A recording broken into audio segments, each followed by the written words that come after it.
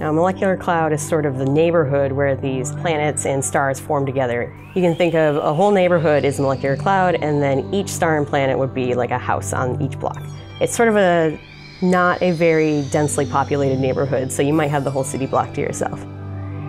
Orion started out as a giant molecular cloud with smog-sized particles and a lot of gas. And as the time went on, it fragmented into smaller regions, which over time also fragment.